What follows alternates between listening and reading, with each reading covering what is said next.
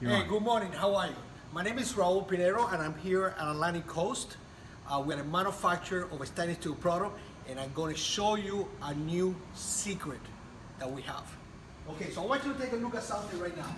These, I just took it out of the warehouse. It's a 18-inch barred piece of equipment. As you can see, it's a drain board, 12 inches by 18.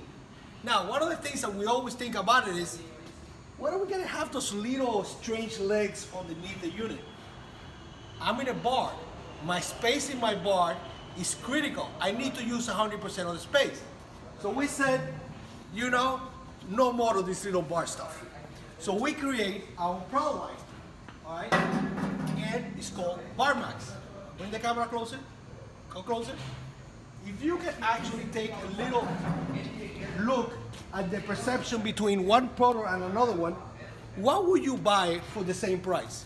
Will you buy this or will you buy BarMax? Uh, welcome back. My name is Raul Pineiro and I'm with Atlantic uh, Coast Stainless. This is a new product line called BarMax and basically I'm just going to run you through each of the uh, components. This is a unit that we're about to ship to a client.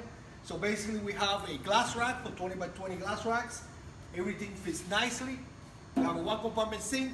Our sinks are fully welded, cuff corners. We use 16 gauge in our tops. We have a uh, neutral unit. In this case, we put doors, we have shelves, we have locks on the door so we can lock it at the end of the night. We have an ice bin. The ice bin has an option to put a, a uh, blender station. The blender station fits right on the front of the unit. We also have a speed rail. Speed rail also fits on front of the unit. You can make a double, you can make any size you like.